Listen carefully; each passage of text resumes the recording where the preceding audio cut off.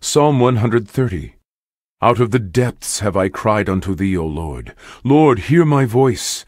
Let thine ears be attentive to the voice of my supplications. If thou, Lord, shouldest mark iniquities, O Lord, who shall stand?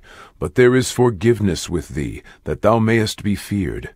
I wait for the Lord. My soul doth wait, and in his word do I hope. My soul waiteth for the Lord more than they that watch for the morning. I say, more than they that watch for the morning. Let Israel hope in the Lord, for with the Lord there is mercy, and with him is plenteous redemption, and he shall redeem Israel from all his iniquities.